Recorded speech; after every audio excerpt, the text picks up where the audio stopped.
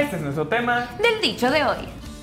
El amor hace iguales. A los que no lo son. Mi cafetalera familia del dicho, ¿cómo están? Porque el día de hoy, familia, tenemos un gran invitado en la casa. A mi lado, Héctor Cruz Lara. ¿Cómo estás, mi Héctor? Muy bien, encantado de estar nuevamente aquí, como siempre, ya sabes. Un verdadero placer, caray. Pero el día de hoy, familia, queremos ver cómo es que tu personaje Augusto se relaciona con este dicho.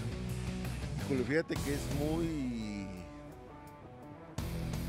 triste en parte, ¿Ok? o sea, tanto lo que le pasa a él como lo que pasa en su familia.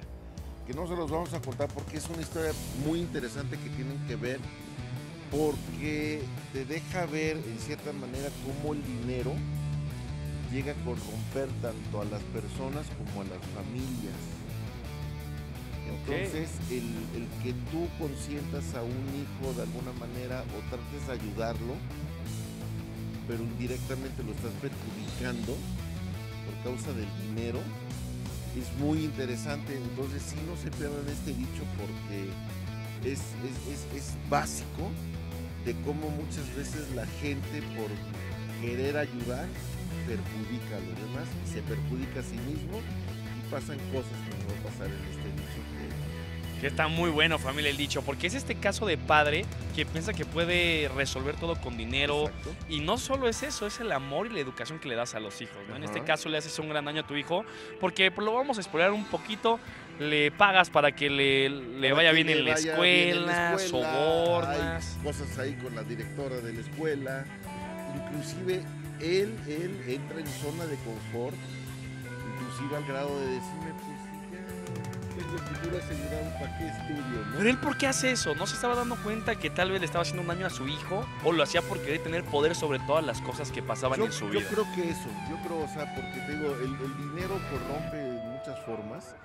Y sí, aquí desgraciadamente al personaje de Augusto, que es el personaje que hago yo, le, le- le- le cambia toda la visión de su, de su vida, de su convivencia hasta con su esposa, ¿no? Porque él de, de ser X llegó a ser Z.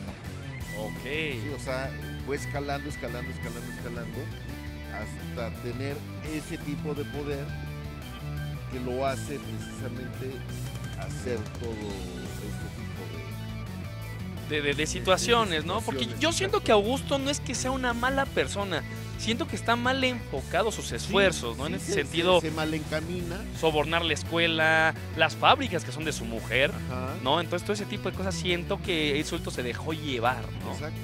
Sí, y es, es como, ya lo mencionaste ahorita, las fábricas que son de la mujer, pero él dice, fueron unas fábricas chiquitas las que... Y yo las hice un las que- emporio, yo ¿no? las hice un imperio, ya, ya.